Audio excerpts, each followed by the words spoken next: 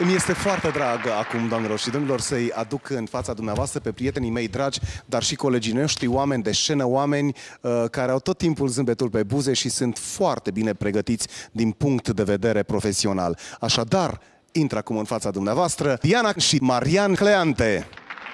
Bună seara, bine v-am regăsit!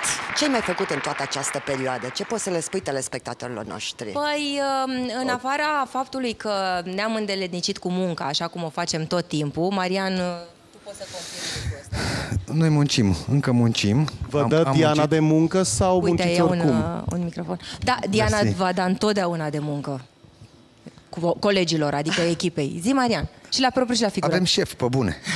Pe bune avem șef.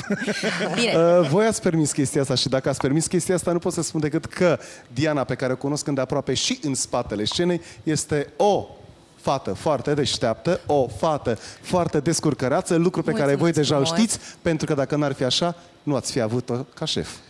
Iar Marian este un băiat foarte Nu. deștept, Să rămână, un să băiat rămână. foarte Frumos. isteț. Stai puțin și Blond cu foarte ochi albaștri. organizat, să ne înțelegem. Asta foarte trebuie să vă organizat. mărturisesc. Este un lider excepțional. Este un om care știe foarte bine să comunice cu uh, echipa. Este foarte serios. Este omul uh, căruia dacă ai spus să vină la ora Ți-am zis că e nevastă mea. 5, el vine la uh, 4 și jumătate.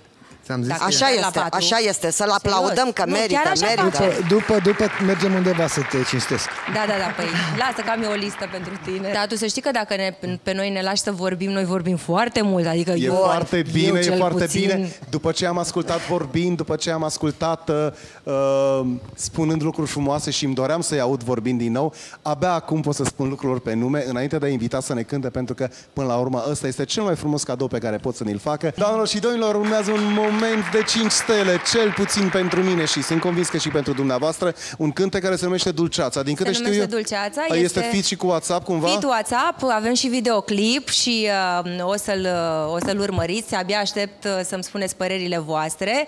Uh, oricum este viral pe internet. Uh, Oații nu este cu noi, dar uh, uite, îl folosesc pe Marian. Oații nu prea are păr, dar Este uh, are Marian. Marian, știi? Hai să cântăm. Vă ascultăm. Mulțumim.